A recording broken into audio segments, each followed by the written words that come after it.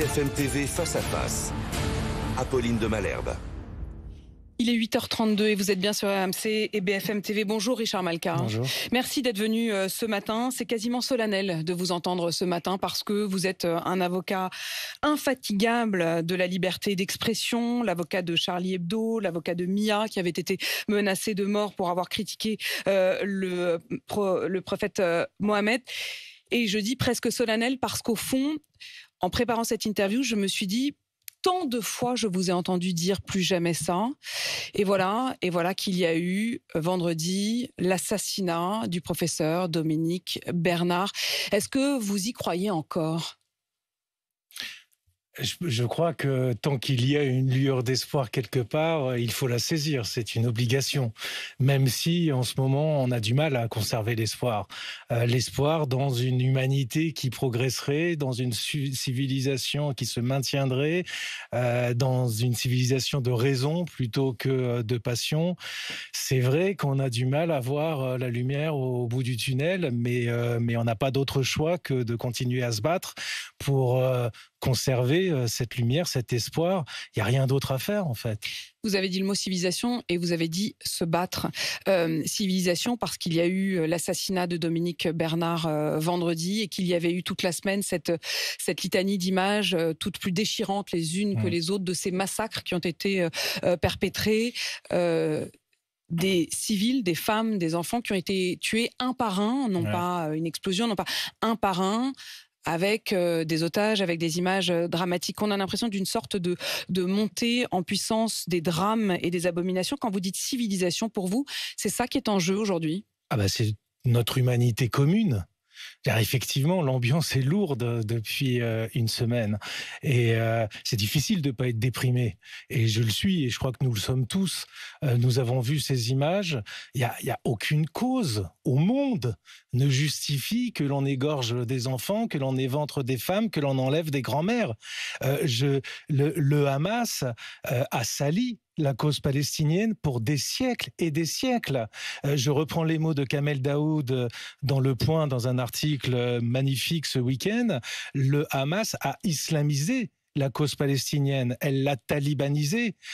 c'est une tache de sang sur le drapeau de la Palestine, qui est une cause noble, mais pas comme ça, pas en tuant des innocents, pas en enlevant des grands-mères.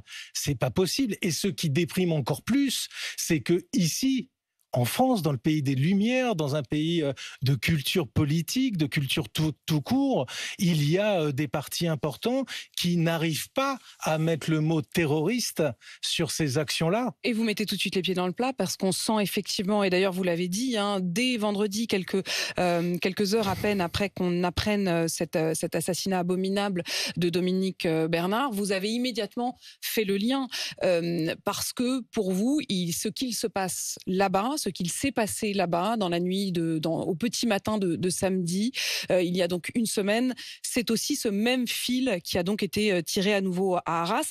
Et donc la France doit dire, donc les politiques doivent dire, les footballeurs, les artistes, tout le monde doit à un moment parler. Quand vous dites des politiques ici en France qui ne disent pas le mot terrorisme, pour vous, ils se sont exclus du monde républicain? Ah bah, pour moi, il y a un cordon sanitaire à placer autour de personnes qui refusent de considérer que des barbares sont des barbares, que des bouchers sont des bouchers. Euh, évidemment, euh, c'est pour moi la, gauche de la destruction de tout.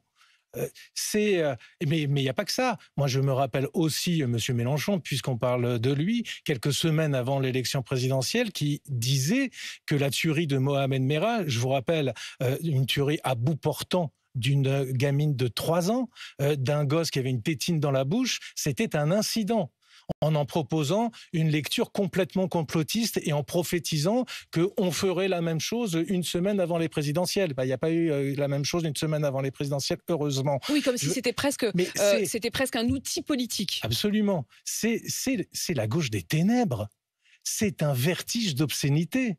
Euh, de voir les images de cette semaine, des enlèvements d'enfants, euh, des nourrissons tués, et de ne pas être capable de dire le Hamas, qui par ailleurs terrorise sa propre, population, les torture et les tue quand ils ne sont pas d'accord et quand, quand ils font usage de leur liberté d'expression, refuser de voir ça, de le condamner fermement, mettre une semaine pour arriver du bout des lèvres à dire des mots un peu forts, mais c'est une faillite morale.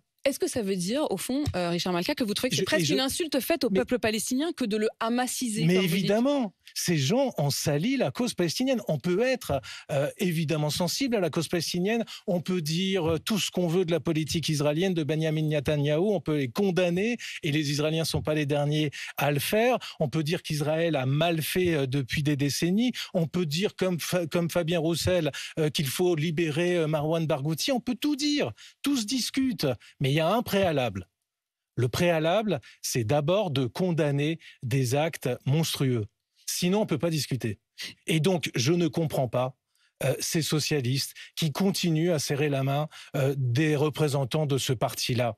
Je ne comprends pas les artistes, les écrivains, euh, les hommes de spectacle qui continuent à trouver branché de se dire LFI parce qu'il est beaucoup plus facile de dire d'aller crier Macron fasciste que que de désigner que de nommer l'horreur que de nommer l'horreur. Alors là, vous, lancez quasiment un appel euh, même euh, aux, artistes. Vous venez, vous, du monde aussi de la gauche, de la gauche engagée. Euh, vous avez toujours été du côté des artistes, des intellectuels. Est-ce que vous estimez qu'aujourd'hui, clairement, ils ne sont pas au rendez-vous?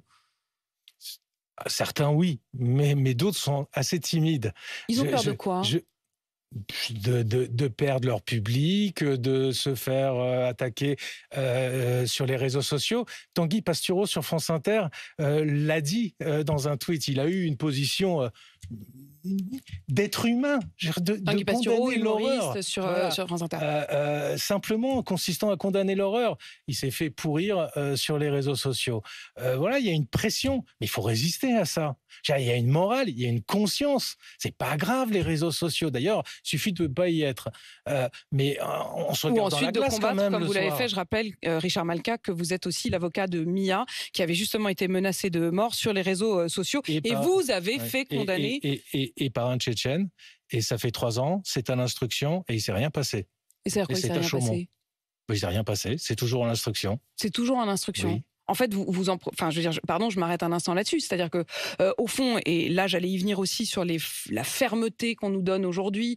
Euh, Emmanuel Macron lui-même dit avoir euh, demandé au préfet de faire une sorte de remise à ah jour de toutes les fiches S, de tous les radicalisés, savoir où ils en sont, montrer l'urgence. Mais dans les faits, ce que vous nous racontez, c'est que, bah, cette urgence, elle, est il y a quelqu'un, il y a un Tchétchène qui a fait des menaces de mort extrêmement graves et précises à Mila.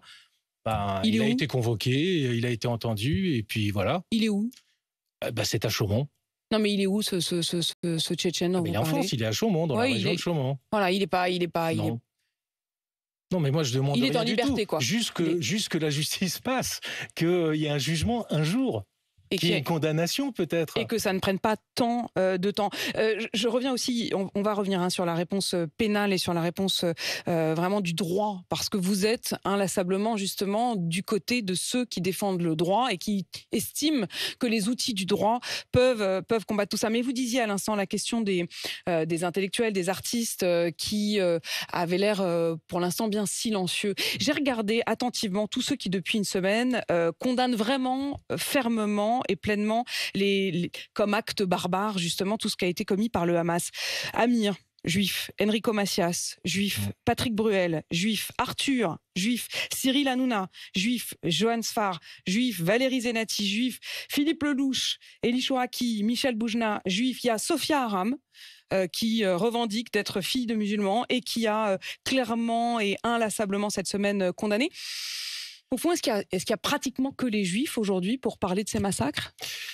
Il y en a d'autres, il y a Tahar Benjeloul, euh, il y, a, il, y en a. Allez-y, allez-y, parce que justement, moi j'ai regardé comment ça hier. Alors c'est ceux qui parlaient le plus fort, ceux-là, mais peut-être qu'il y en avait d'autres. Mais vous avez raison, euh, vous avez raison, c'est un problème.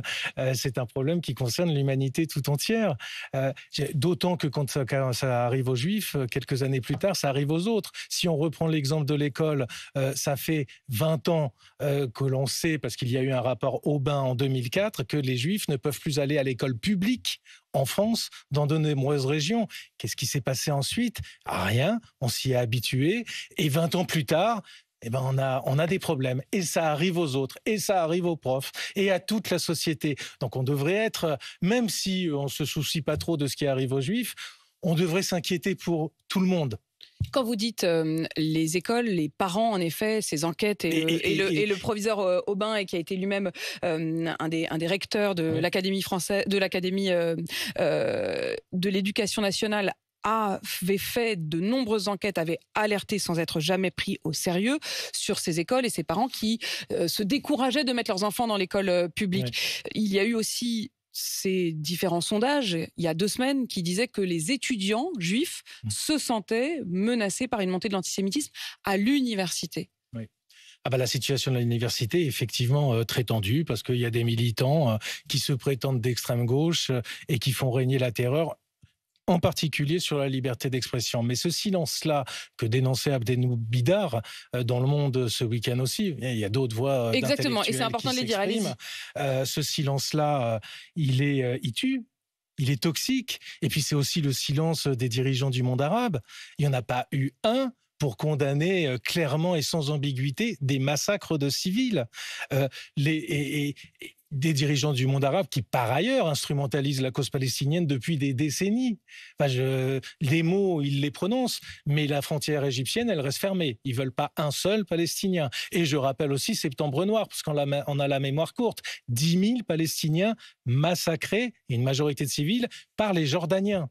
Euh, le monde arabe instrumentalise la cause palestinienne depuis des décennies. Aujourd'hui, on ne le voit pas. Euh, il y a un silence dans le monde arabe qui est coupable. Mais en France, effectivement, on attend des représentants de la communauté musulmane. Et je tiens à dire que l'immense majorité de cette communauté est aussi horrifiée que n'importe qui par ce qui s'est passé. Mais que des élites de cette communauté parlent, et pas que des footballeurs ou des rappeurs, bah, ce serait bien. Alors justement, les footballeurs et les rappeurs, puisque vous les mentionnez, euh, lorsqu'il y a eu cette minute de silence entre les Pays-Bas et la France, l'un des joueurs qui porte le euh, maillot de l'équipe de France, Jean-Claire euh, Tobido, a, éclaté de rire. il y a eu ce message de haine d'un prédicateur qui a été relayé par Youssef Attal, joueur de l'OGC Nice, qui depuis a dit qu'il l'avait pas vraiment réalisé, mais enfin le message qu'il a relayé, c'était qu'il demandait un jour noir sur les Juifs. Il y a eu finalement Karine Benzema qui est sortie du silence après ne rien avoir dit pendant une semaine, mais c'est uniquement pour manifester son soutien aux attaques injustes contre les habitants de Gaza, mais encore une fois, pas un mot pour les autres. Ils ont une influence colossale. Le, le tweet de Karim Benzema a été vu par 30 millions de personnes. Mmh. Bah déjà, le problème, c'est que le tweet d'un footballeur soit vu par 30 millions de personnes, en ce qui me concerne. Euh, j'aimerais que les tweets d'intellectuels, de penseurs euh, euh, soient vus autant. Malheureusement, c'est pas le cas. C'est comme ça. Euh, mais il y a d'autres représentants. Il y a des autorités religieuses. Euh, quand euh, il y a un acte raciste, toute la société fait corps pour le condamner. Mais, sur la question, mais sur la question des, jeunes, parce que pendant ce temps-là, on a Emmanuel Macron qui fait des, des, lettres ce matin à tous les professeurs, à tous les élèves pour dire que l'instruction doit triompher, que la soif d'apprendre, la soif de vivre libre. Mais les jeunes sont aussi beaucoup à l'écoute des figures. Et quand on voit par exemple ce Youssef Attal qui donc euh, relaie les messages de haine d'un prédicateur, le prédicateur en question, c'est Mahmoud al-Hassana. Il a donc demandé à Dieu d'envoyer un jour noir sur les Juifs. Et ce même prédicateur avait été relayé par celui qui a euh, assassiné euh, dans une église à Nice des croyants euh, et des religieuses. Est-ce que, est-ce que au fond, il n'y a pas un problème là aussi de relais, de relais de ces messages? Encore une fois, on revient à la question aussi des, des, médias et des et des, et des euh, voilà et, des réseaux sociaux. Et vous voyez le poids de la religion dans cette affaire. C'est il y a, y, y a aussi la place de la religion dans la société euh, et à l'école et effectivement sur les réseaux sociaux. Et évidemment, les réseaux sociaux ne vont pas dans le sens d'une humanité, d'une plus grande humanité. Est-ce qu'il faut ce langage primaire Est-ce qu'il faut prendre des décisions plus radicales sur l'accès aux réseaux sociaux? Est-ce que c'est possible Non, c'est pas c'est pas possible. Il y a, il y a une modération. Euh, euh, d'abord, c'est Twitter essentiellement hein, mmh. le, problème, mais il y a une modération, une régulation euh, que l'on peut faire avancer, mais on va pas priver d'accès les jeunes des réseaux sociaux. Ça me paraît assez compliqué. Donc, on peut pas revenir en arrière. Donc, il y a à moraliser ces réseaux ces réseaux sociaux. il y a beaucoup à faire, mais c'est qu'une petite partie du problème.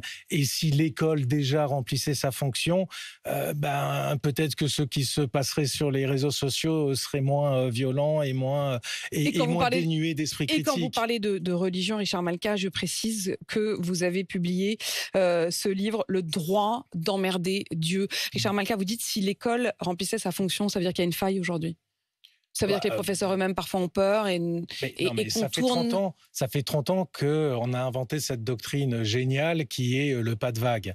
Mais à un moment, le pas de vague, ça crée un raz-de-marée et on y est. Euh, moi, ce que je crains, c'est que, et ce qui me terrifie, c'est que le nom de Dominique Bernard, on va s'en rappeler beaucoup moins que celui de Samuel Paty. Parce qu'un meurtre de professeur, on s'en rappelle, c'est singulier, c'est une atteinte à, la connaissance, à la transmission du savoir, au sacré que représente le professeur dans notre République. Deux assassinats, c'est déjà le début de la normalité. Donc on s'habitue, ça devient normal, et on perd en humanité, et on recule en humanité euh, à chaque fois. Euh, ce qui me terrifie, c'est qu'on s'habitue en fait à l'horreur et que à chaque fois les mots on a l'impression de les répéter. Euh, donc oui, euh, le, vous savez, moi j'ai cette phrase de d'Ibn Khaldoum, ce grand savant musulman du XIVe siècle, euh, quand les hommes sont faibles, ils créent des temps difficiles. Nous avons été faibles et les temps sont difficiles. Alors il faut arrêter avec ce pas de vaguisme et il faut regarder les problèmes en face. Quand il y a des contestations de la liberté d'expression, il faut trois fois plus de cours sur la liberté d'expression et y compris le droit au blasphème. Et il faut arrêter avec cette histoire de respect au obligatoire des religions. Et il faut se battre contre cette idéologie victimaire qui est un piège qui nous tue depuis des années sur la culpabilisation permanente. Et il faut faire des études euh, sur l'islamisme comme sur le décolonialisme éventuellement. Mais on n'en fait plus du tout sur l'islamisme. Et j'entendais hier Gilles Kepel dire que même lui, islamologue avec, laquelle, avec lequel je peux avoir éventuellement des divergences, mais qui est un islamologue incontestable, n'a plus de cours, euh, qu'on lui a supprimé ses tout cours. Ça, lié. Mais tout ça, c'est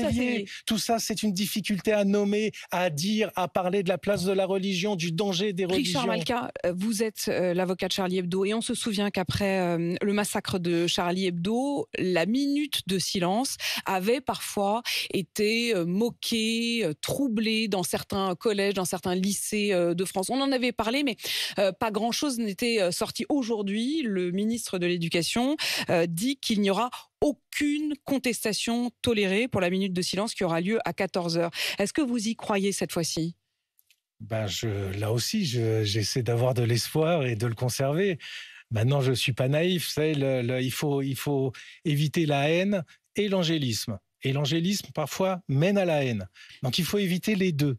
Euh, donc, Qui veut euh, faire l'ange fait la bête. Euh, il faut regarder ça avec vigilance. J'espère qu'en ces circonstances tragiques, il n'y aura pas trop d'incidents, mais il y en aurait encore moins si on inventait et on créait, et c'est la responsabilité de la gauche de le faire, un sens un plus grand que soi, une transcendance où la raison aurait plus de place que la religion, où l'émancipation aurait plus de place que l'enfermement et où les libertés auraient plus de place que l'endoctrinement. Quand est-ce que cette extrême gauche va comprendre ça plutôt que de défendre la baya on sent, on sent euh, Richard Malka, vous qui êtes un homme de gauche, vous avez le sentiment que la gauche euh, a, perdu. Comment, comment est-ce qu'un homme comme vous, comment est-ce qu'un homme comme vous euh, voit le fait que le, Rassemblement national, le Front national d'hier, pour le coup, ne tombe pas dans ce, dans, dans, dans ce côté-là, dans ce travers-là, dans cet excès, dans cette. Je me positionne pas non, mais comment, comment, on, comment on voit ça? Non, mais justement, comment, comment on voit ça? C'est presque. On est, désespéré. Mais tant que, tant que les autres ne feront pas leur boulot, on peut pas le reprocher. Euh, euh, moi, je m'en fous de ce que dit le Rassemblement national. Je regarde ce qui se passe dans mon camp. Je regarde cette gauche qui doit réinventer son logiciel, qui doit se reconstruire, qui doit reconstruire euh, un espoir. Et malheureusement, je ne vois rien. On ne peut pas laisser le primat culturel à l'extrême gauche. C'est comme ça. Le problème, il est à gauche. C'est la gauche qui définit le primat culturel. C'est injuste, pas injuste, mais c'est comme ça. Sauf que là, comme il n'y a plus de gauche euh, de gouvernement euh, modéré, une gauche de la nuance, de la complexité, on a un vrai problème. Richard Malka, est-ce que notre droit, est-ce que le fait qu'il y ait des exceptions, des droits, des attentes, des recours a ralenti ou freiné une certaine forme de fermeté nécessaire Est-ce qu'au fond, la démocratie a les armes pour faire face à euh, cette brutalité? Ce discours-là, et votre question est complètement légitime, mais là, il est... Euh, euh, on est au-delà du danger vital pour la démocratie. Mais vous avez raison. mais vous avez raison de la poser. Mais si on commence à penser, si le peuple commence à penser que l'état de droit est un obstacle à la sécurité, alors là, on va avoir un gros, gros, gros problème. Parce qu'à un moment, le peuple va se dire, bah, débarrassons-nous de l'état de droit. Ce n'est pas possible de laisser cette idée de l'impuissance politique euh, euh, euh, être acquise dans la société, pénétrer la société. et là, le, gouvernement actuel a une responsabilité historique pour ne pour, pour s'opposer à ce message-là. Mais pour s'opposer à ces messages-là, il faut des actes. Richard Malka, avocat donc infatigable, je le constate encore ce matin, qui veut encore croire effectivement euh, à la lumière de Charlie Hebdo et je signale votre livre Le droit d'emmerder Dieu. Il est 8h53 sur RMC BFM TV.